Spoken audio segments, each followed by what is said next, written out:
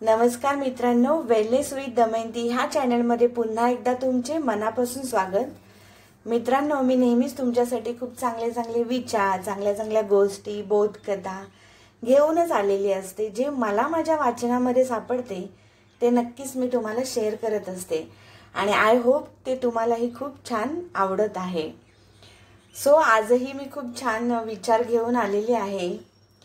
तर कसं असतं मित्रांनो आपण राहतो शहरामध्ये तर आपण आपल्या चांगल्या घरात राहतो बरोबर? पण बाथरूममध्ये कधीतरी घसरून पडतो विनाकारण. मग कुठेतरी आपलं हड मोडतं मग आपल्या मागे प्लास्टर लागते. काही वेळा तर अनेक महिने बिछानाला आपल्याला खिळून राहावे लागते. पण हा भोग चुकवता येऊ शकतो? चुकवता येऊ शकत नाही का? तर का चुकवता येत नाही मित्रांनो? रोजची वर्तमानपत्रे टी व्ही आकाशवाणी याची आपल्याला एवढी सवय होते की त्याचा संपर्क तुटला तर अगदी चुकल्यासारखे वाटते. पण मावळात आदिवासी भागात किंवा दुर्गम प्रदेशात यातले काहीच वाटायला येत नाही. शिवाय छोट्या छोट्या खेडेगावात सुद्धा आपण अशी तिथे जाऊन प्रत्यक्षात त्यांची विचारपूस केलं तर आपल्याला नक्कीच हे माहिती आपल्याला मिळेल. ती माणसे काय करत असतील? कोकणात पावसाळ्यात घराबाहेर पडता सुद्धा येत नाही. मुले शाळेत जाऊ शकत नाहीत. लोकांचा व्यवहार स्थगित व लोक स्थानबंद अशी स्थिती उद्भवते. म्हणजे एकाच ठिकाणी त्यांना राहावं लागतं. ते एका जागेवरून दुसऱ्या ठिकाणी सुद्धा खूप काही दिवस त्यांना जाणं येणंसुद्धा होत नाही. गोठ्यातली जनावरे तशीच गारटून अवघडून थबकल्यासारखी स्थितीत राहतात. देशातील अनेक गावे आणि शाळा अशा आहेत की मुलांना काही मैल पायी चालावे लागते. त्यांना थकवा येत नसेल का हो? घरात जागा आणि दिवाबत्ती असेल का? मुले अभ्यास अभ्यास तरी करत असतील का? त्यांना विद्येचे मर्म कळत असेल का? हे सगळे दूरचे झाले.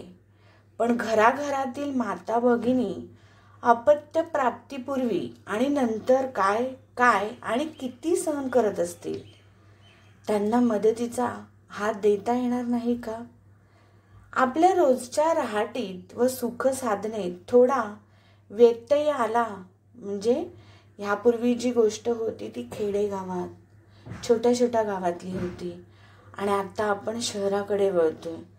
तर आपल्या रोजच्या राहाटीत व सुखसाधनेत थोडा जरी व्यत्यय आला मित्रांनो तरी आपण अस्वस्थ होतो. फॉर एक्झाम्पल जसं की आपल्या घरच्या लाइट जाणे नळाला पाणी कद कधी न येणं मोटारवाल्यांचा संपामुळे दूध न मिळणं त्यामुळे आपला चहा चुकतो मग आपलं डोकं दुखणे काही न सुचणे केवढा कल्लोळ माजलेला असतो आपल्यामध्ये. आणि आपण तो कल्लोळ माजवतो. होय ना? वाट्याला येईल त्या परिस्थितीत मनाचा समतोल सांभाळून सुखाने जगणे अवघड का व्हावे? इतरांशी तुलना करता आपल्याजवळ खूप काही आहे. त्यातले जमेल तेवढे इतरांना द्यावे असे आपल्याला का वाटू नये? माझा पास माझी ट्रेन माझा जॉब असं म्हणत धावत राहायचं. मुले झोपत असताना घर सोडायचे व मुले झोपली की घरी पोचायचं. याला जीवन हे नाव शोभते का? आपण आजूबाजूला पाहत नाही. स्वतःकडे लक्षही देत नाही.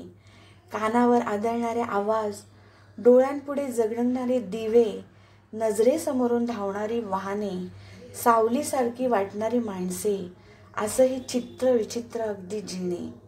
त्याला दिशा नाही आकार नाही.